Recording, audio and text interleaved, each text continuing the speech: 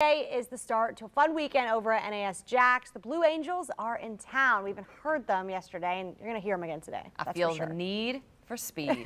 On your sides, McKenna Rodriguez is out at the base for today's practice show. So tell us all about all the cool events that people can do out there this weekend.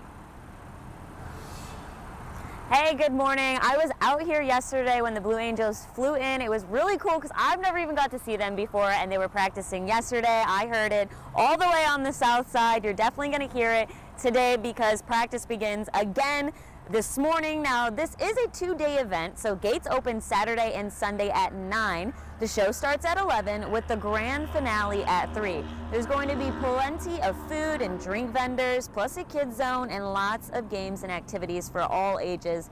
Admission and parking will be free, but there is a $10 charge if you want reserved seating and a $5 charge to enter the kids zone. I was seeing them set up the kids zone. There's going to be big bounce houses. It looks like a lot of fun, but coming up in the next half hour, we're going to show you a really cool new feature that they have this year, a virtual reality game set. So coming up in the next half hour, we're going to take a look inside and give you all of those details. Reporting McKenna Rodriguez, First Coast News on your side.